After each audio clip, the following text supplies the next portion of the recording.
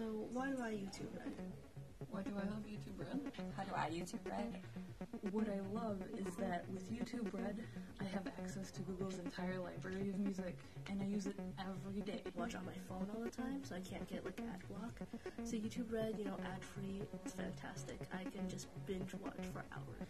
I use YouTube Red because YouTube Red has my favorite creators on it, like PewDiePie. And now I can watch all my favorite YouTube videos, um, even when I'm on a plane with no Wi-Fi or anything, and it's awesome.